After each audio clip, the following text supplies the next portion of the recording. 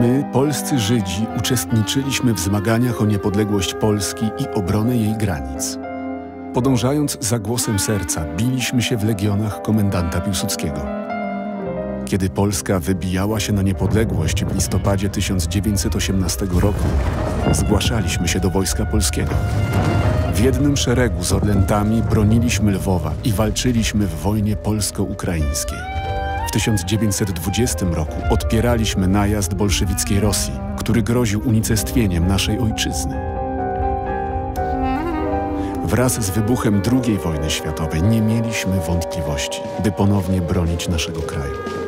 Nikt nie przewidział wtedy rozmiaru zagłady, jaka miała wkrótce spotkać nasz naród. Wstępowaliśmy do polskiego wojska, bo tak dyktowało nam poczucie obowiązku. Kierowaliśmy się patriotyzmem, gdyż Polskę uważaliśmy za nasz dom, w którym bycie patriotą nie wymaga wyrzeczenia się religii i tradycji żydowskiej. Patrioci, żołnierze, Żydzi. Zobacz wystawę Instytutu Pamięci Narodowej i poznaj sylwetki Żydów, którzy walczyli i ginęli za swoją ojczyznę, Polskę.